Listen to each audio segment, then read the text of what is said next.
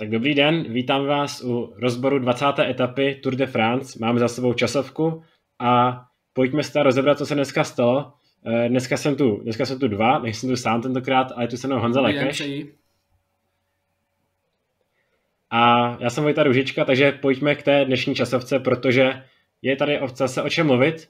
ale pojďme po pořadě, protože tu časovku jako první od ní ostartoval Tim Declerc, takže domestik týmu Decanic, který je v tom celkem pořadí poslední, ale myslím si, že mu je to celkem jedno, jak to je celkem, celkem pořadí. Taky odstartoval jako první, tu pochopil tu časovku, za ním pak měl Mark Cavendish, takže ty, eh, ten konec toho startovního pole, ale už mezi těmi prvními ostartoval Mikkel Berg, který mohl patřit těm spolufavoritům, ale Mikkel Berg sice stanovil nejlepší čas, ale moc dlouho na tom horkém přesta nebyl, protože zakrátko ho vylepšil, vylepšil Stefan Bissegr, ale ani Bissegr tam se moc dlouho neohřál, protože se pak docela přeříčil Kasper Asgren a Kasper Asgren skutečně stanovil velice solidní čas a zdálo se, když ho třeba neporazil Kasper Asgrena ani Stefan King, tak se zdálo, že by Kasper Asgren klidně mohl pomíšet i na, na prvenství, protože zkrátka ten jeho čas byl hodně solidní. Nicméně stále byl na čas eh, na startovní rampě eh, cyklistický univerzál Wood van Aert, který potvrdil, že zvládne jezdit do kopců, že zvládne sprintovat a dneska potvrdil, že tu časovku skutečně patří k nejlepším časovkářům na světě a tu časovku zkrátka prohled takovým časem, že od úvodního mezičasu získává na Asgrena a ačkoliv Asgren byl trochu rychlejší té závěrečné pasáži, tak eh, se nakonec, eh, tak nakonec Wout van Aert to vítězství ostavil, protože eh, Wout van Aert sice závěru trochu zpomalil a ne natolik, aby, aby Asgren ho mohl zkrátka předstihnout. Takže Wout van Aert ostavil prvenství a nás ještě zajímalo, jak tam dojdou ty závodníci na to celkové pořadí. Čekali jsme si třeba tady Pogačar dneska znovu ne, zase neporazí všechny, všechny časokářské specialisty a tady Pogačar to dneska úplně neriskoval si myslím a na druhou stranu Wout Art dneska takovým způsobem, že si myslím, že by ho tady Pogačar neporazil ani tak. Kdo ale jel výborně, tak to byl Jonas Vingegaard, který chvílemi dokonce i atakoval ten čas Vouta van Arta, ale i Vingegaard v závěru mu trochu došly síly, takže Vingegaard nakonec v závěru trochu ztratil, ale i tak třetí místo přehledem si pojistil to druhé místo na Richarda Karapaza nejel více než minutu a půl, takže eh, Richard Carapaz na toho druhé místo vůbec neměl nárok a eh, Vingegaard dneska eh, zkrátka ukázal nám, že do budoucích let může být on náhradou za Primože Rogliče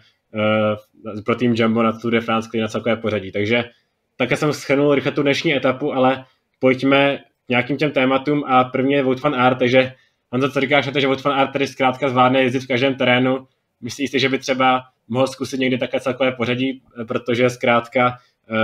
ty terény to zvládá vlastně vyhrál na Monvantu, vyhrál v časovce, ve sprintech dojíždí vysoko, takže skutečně fenomén. Je to tak, máš pravdu, je to prostě společně, nebo aspoň mně to tak přijde asi i ostatním lidem, že prostě s Matějem van der Poolem jsou to asi teď opravdu dva fenoménové cyklistiky, největší univerzálové, co jsou. Eh, co se týče přímo Vouta van Arta, tak on sám vlastně Eh, si přál, nebo byl to takový jeho velký cíl, že by chtěl, že by chtěl vyhrát časovku na, na Tour de France, což se mu vlastně dneškem splnilo a i sám vlastně po závodě řekl, že mu ta časovka jako by tahle seděla líp než ta předchozí, takže a navíc ještě bylo takové horké počasí, že to neměli opravdu jednoduché dneska, takže že byl úplně totálně vyčerpaný. Eh, já se mu ani nedivím, ale opravdu eh, Wout van Aert, jak si zmiňoval to celkové pořadí, tak já si jako samozřejmě je to strašně moc eh, komplexní cyklista, opravdu má všechno, má výbušnost, eh, vytrvalost, eh, tak prostě je to, je to fakt opravdu fenomén dnešní doby, ale na to celkové pořadí si myslím, že ještě prostě potřebujete takové něco, nějaký ten prostě šmrnc, který typu prostě Krise Fruma nebo, nebo prostě chce to ještě doladit takové ty detaily, ale co není může být, takže opravdu Wout van Aert, jestli se mu to někdy podaří, tak já bych se tomu jako nedivil. Skutečně ty předpoklady na to asi má, ale musel by se na to podle mě zaměřit a zkrátka by musel by obětovat pár let tomu, že by šel jenom po tom celkem pořadí, což úplně nebude chtít, třeba na úkor klasik, kde patří k nejlepším, tak obětovat ty klasiky, to si myslím, že se úplně nebude chtít a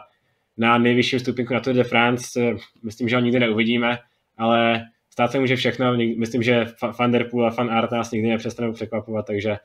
co není může být. Ale já bych šel dál a šel bych dneska k Jonase Vingegaardovi, protože Vingegaard porazil tady Pogačara a vlastně tady nastartoval na Tour de France, nestartoval ani jako lídr, byl tady takový domestik, super domestik pro Primože Rogliče. Nakonec se stalo druhé místo, ve 24 letech ukázal, že v budoucnosti tady může se klidně pasovat do role toho favorita.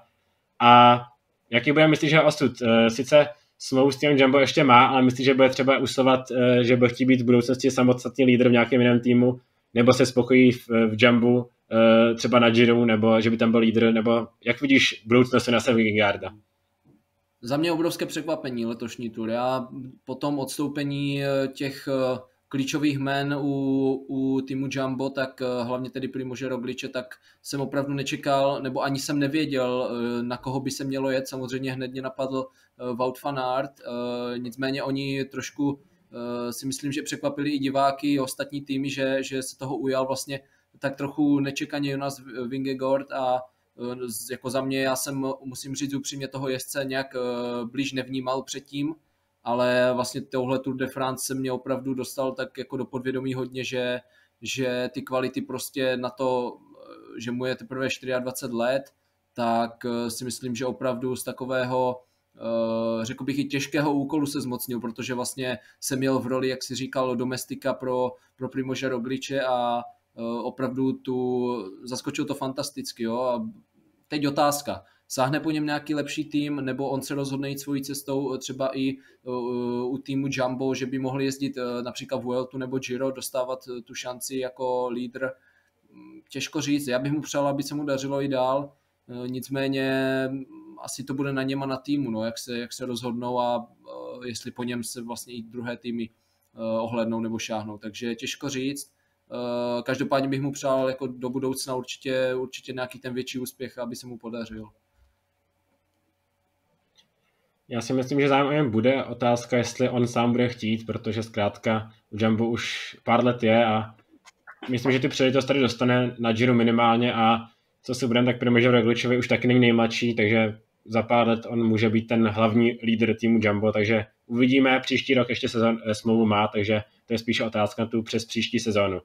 Ale pojďme ještě k poslednímu tématu dnešního dne a zkrátka to musí být tady Pogačar, který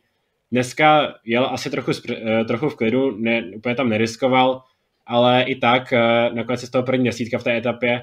A tady Pogačar v tak mladém věku po druhé vydal Tour de France, je mu teprve 22 let, takže skutečně něco, co se každému, každému cyklistovi může jenom zdát, tak eh, tady Pogačar dneska potvrdil, že je že zvládá všechny disciplíny, na, na, že i v tak mladém věku je zkrátka komplexní cyklista a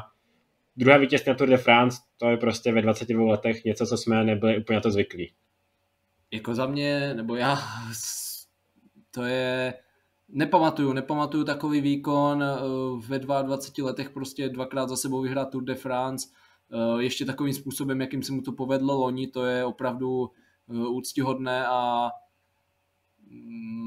jako co k tomu dodat, no prostě viděli jste, viděli jste sami, kdo koukal na Tour de France letos, takže prostě Eh, ať, se to, ať už to byl Carapaz, ať už to byl Vingegord, ať už to byl kdokoliv jiný, ať už to byl Uran, eh, prostě nikdo na něho, eh, řekněme si to na rovinu, prostě na něho neměli, jo, tam v těch kopcích prostě on si v uvozovkách si s nima dělal, co chtěl,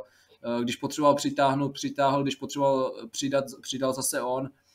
opravdu ten výkon, i ta mentalita jeho, jak je vyspělá, prostě, jak řekl Eh, loni eh, jeden z expertů na ČT Sport, prostě je to podle mě nový Eddie Merckx, jakože v tomhle, že to je eh, opravdu dítě, prostě, které asi ještě uvidíme hodně dlouho na Tour de France, pokud se mu nestane nějaké zranění a já si myslím, že on ty tituly bude sbírat dál.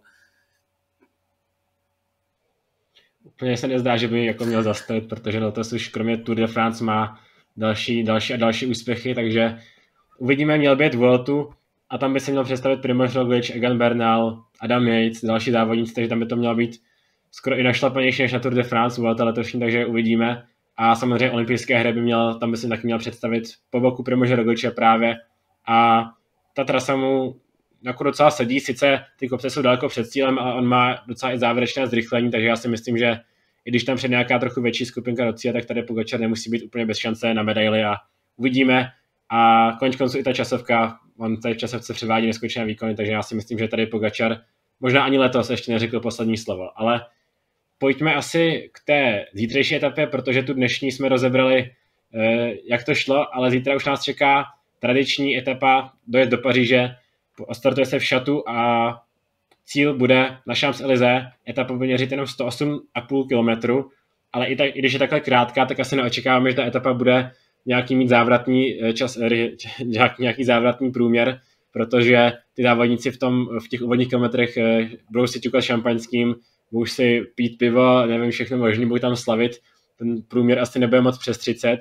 ale pak se najde na okruh na Champs-Élysées a tam se teprve začne závodit a začne to takové vyhlášené sprinterské mistrovství světa, protože skutečně pro sprintery to asi nejcennější vítězství, co můžou získat, je ta výhra na Champs-Élysées. A zbývá asi jenom jedna otázka na zítřek. Získá Mark Cavendish 36. vítězství a překoná Eddieho Merkse, nebo to bude někdo jiný? Tak u mě je známo, že já uh, jsem fanoušek Quickstepu, takže já, um, já to Manxmanovi budu zítra přát. Myslím si, že ten,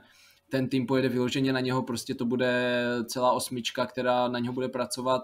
Uh, jak si říkal, začátek bude takový klasicky volnější, budou to, budou to hrátky prostě, víno a tak, ale, ale prostě ta poslední čtyřicítka třeba už, už, to, už to pojede a uh, já doufám, že, že nic nepokazí, že si to pohlídají a, a budou tam prostě ve všech lidech tak, jak mají být. Myslím si, nebo troufnu si říct, že by je neměl nikdo jako z těch týmů ostatních zaskočit, že prostě uh, konkrétně uh, aktuálně v tom peletonu prostě nemá nikdo tak lep, uh, lepší vlak než prostě Quickstep aktuálně si myslím. Je to jeden z posledních týmů, co má vůbec uh, plný tým ještě, že jim nikdo neodstoupil. Pokud se nepletu teda, mám pocit, že ne. A Uh, ne, neodstoupil. Ono to šlo vidět i v těch dojezdech, jo, prostě je tam, vždycky je tam prostě Merkev, je tam Ballerini a ti jezdci před nimi, jako je Asgren, zítra určitě Filip, prostě všichni, Declerc, Devenins, i Kataneo, který dneska ukázal výborné nohy zase v časovce, dojel zase v top desíce, takže pokud oni nastaví to tempo ke konci závodu, tak si myslím, že pro ta poslední 350 za tou klíčovou zatáčkou, co je, tak taková ta vlásenka, kde se to většinou, většinou trhá a tam se rozhoduje, kdo tam najde první, tak pokud tam najde Quickstep s Balerínem, s Merkevem a s Cavendishem, tak na prvních uh, třech místech, tak si myslím, že by, ne, by mělo být jakoby vyřešeno. Tam uh, prostě ta rychlost u, u Marka je pořád a nevím, nevím, co by se muselo prostě stát. Jedině únik, že by Greg Van Avermaet se zvednul klasicky a, a překvapil všechny, ale já si myslím, že, že Manxman si to pohlídá zítra a udělá ten rekord. Já si mám do roku 2012, kdy tady vlastně Cavendish neměl úplně ideální pozici a Eddie, Edvald Boassenhagen ho vypustil do sportu už na začátku té cílové rovinky, ale Cavendish to i tak udržel, takže já si myslím, že i s trochu horší pozicí by bude zítra hlavní favorit. I s tím, že zítra mu, že zkrátka do Tour de France, do Tour de France už se nepodíval hodně těch sprinterů, hodně jich odstoupilo a těch konkurentů, kdo tady zůstal, zůstal tady Michael Matthews, Sonny Colbrelli, ale to jsou spíš takový neúplně čistý sprinteři, takže tam by v té absolutní rychlosti by se asi neměli uh, Marku Cavendishovi rovnat. Uh, samozřejmě Andrej Greipel, ale Andrej Greipel už není, není Andrej Greipel, co býval, nicméně bylo by to zajímavé, kdyby tady uh, německá gorila ještě se vrátila do svých vítězných let. Uh, sam, jak jsem říkal, zvyčajně těch sprinterů už tady není, ale ještě jsem nezmínil jedno jméno a to je Wood van Art, který dnešní vítěz, tak to bude možná i zítra po Marku Cavendishovi ten druhý největší favorit na to etapové prvenství, nebo aspoň pro mě, protože Wout van Aert byl tady jednou v jedné etapě na tom druhém místě, kde vyhrál Mark Cavendish, tak tam docela konkuroval Marku Cavendishovi eh, a ještě jedno jméno a to Jasper Philipsen, to jsou takový dva největší vyzývatelé Marka Cavendishe pro zítřejší, pro zítřejší etapu. A myslím, že Alpecin by mohl mít teoreticky i dobrý ten rozjížděcí vlak, ne, že by se asi rovnal Quickstepu, ale je to jeden z těch týmů Alpecin, který tady je schopen postavit vlastní rozjížděcí vlak a připravit uh, Philipsonovi tu pozici vlastně vlastním týmem a ne tím, že se zapojí za, za, žád, nějaký jiný tým, protože Alpecin je tady hodně silný a uvidíme, jestli to zítra bude Jasper Philipsen, takže asi nám zbývá už eh, jenom odpovědět naš na ty tři etapu, ale asi se nemusím ani ptát na tebe, koho typuješ. U mě se asi ptát fakt nemusíš, já bych ještě teda jenom, ještě než na typu, tak bych zmínil jednu takovou asi ne, nebo jak pro koho, je pro mě celkem smutnou věc, že že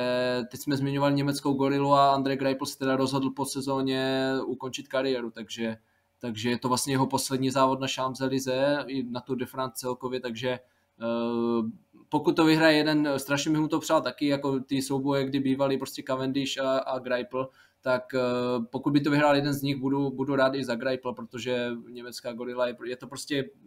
je to persona pelotonu si myslím a, a kdo ho nemá rád, tak nebo spíš neznám člověka, který by ho neměl moc rád, ale, ale uvidíme. No. Já doufám, že jeden z těchto dvou by to mohl být. A každopádně já teda eh, řeknu Marka Vendiš, jasně. Dobře, já, já ještě tak uh, Greiplovi, tak já bych mu to taky přál, ale upřímně tomu moc nevěřím, prostě Greipl je škoda, zkrátka, že odchází tak trochu mimo, mimo ten hledáček kamer, ale já myslím, že zítra bylo i pěkné umístění třeba v první pětce, což je docela reálné, tak by to bylo určitě pěkné umístění. On tady Greipl na Shams Elize vyhrál dokonce několikrát, takže takový návrat do těch vítězných let, uh, určitě bych mu to přál. Nicméně já pro zítřek typu Jaspera Philipsena, ať, ať nemáme stejné jméno, a zkusím, že ta Marka Veneš bude poprvé poražen, nicméně uh, uvidíme, jak to ta zítra bude. A zítra se tady uvidíme tady naposledy z této Tour de France, takže vám počkáme za pozornost za celou Tour de France. Uh, děkujeme vám za pozornost za dnešní etapu a zase teda zítra a shledanou. se krásně a nenechte si ujít zítřejší etapu.